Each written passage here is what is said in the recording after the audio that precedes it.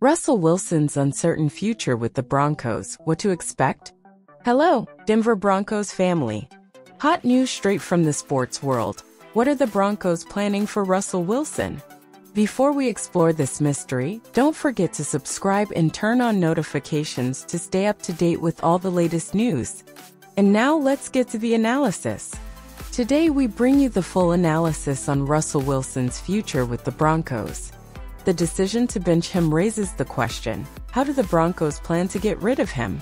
Wilson's contract complicates the situation, with guarantees on the line until 2025. The Broncos have two main options, trade Wilson to another team or cut him. A trade would be ideal, but Wilson may hold out due to financial guarantees. Cutting Wilson would have a significant financial impact, with values the Broncos need to consider. The Denver Broncos benched quarterback Russell Wilson and signs now point to an imminent split. But in practice, this is not so easy. Wilson's contract with the Broncos is complicated and stipulates that not only is his 2024 salary fully guaranteed, but his 2025 salary would also be guaranteed if he were still on the Broncos roster on the fifth day of the new league year, March 17, 2024. This means the Broncos have two options to get rid of Wilson. Trading Wilson to another team. This would be an ideal option for the Broncos as they could save money and get some value in exchange for Wilson.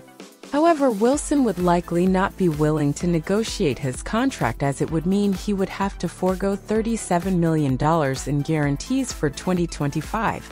Cutting Wilson, this would be the least ideal option for the Broncos as they would have to absorb $85 million in dead money if they cut him before March 17th or $76 million if they cut him after June 1st.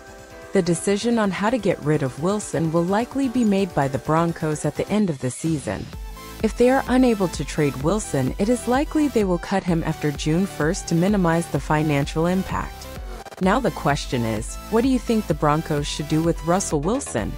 I want to see your comments below. Don't forget to leave a like if you're eager to find out how this story ends. Let's create a lively debate in the comments. That's it, folks. The mystery surrounding Russell Wilson on the Broncos continues. See you in the next video.